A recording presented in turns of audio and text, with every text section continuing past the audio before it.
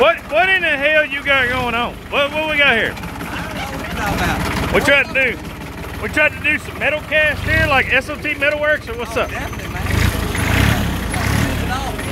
Hey. I can't believe they put you on that new TV show, Pimp My Tractor. That's right. What we do here at AMF. We pimp everything. We pimp it all. Uh, dang.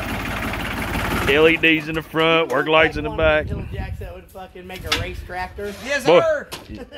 Send it. You can tell he was from Kentucky, can't you? Tattoos around his neck that you